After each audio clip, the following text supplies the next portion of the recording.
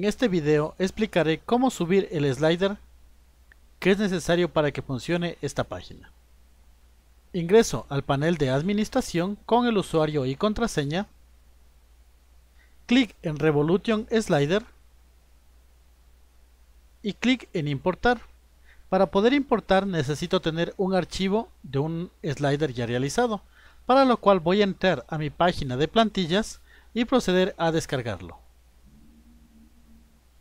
En la página de plantillas veo la plantilla que estoy utilizando, para este momento estoy utilizando la Home 1, es decir la plantilla 1002, por lo cual voy a necesitar el slider 1002. Procedo a descargar el slider de la página 1002, doy clic en Download, espero unos segundos a que se descargue y se guarde en mi computador. Una vez que ha terminado la descarga, procedo a abrir el archivo.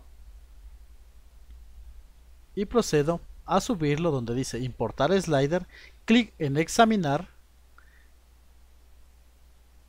y procedo a subir el slider que descargué. Doy clic en abrir, escojo sobreescribir y el resto le dejo tal cual todo por defecto. Doy clic en importar sliders, espero unos segundos a que se suba y así tenemos ya el slider subido.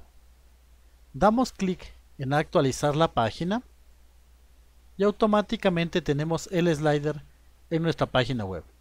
En el siguiente video explicaré cómo cambiar las imágenes, links y textos que aparecen en este slider.